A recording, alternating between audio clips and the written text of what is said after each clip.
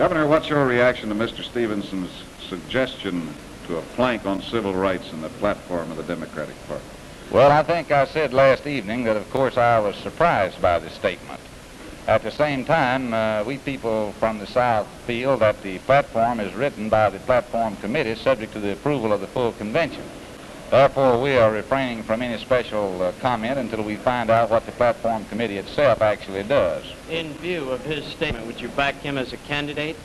Uh, I don't think it, uh, it would be appropriate for me to answer that question at this time. I repeat that we want to wait and see what the platform itself provides.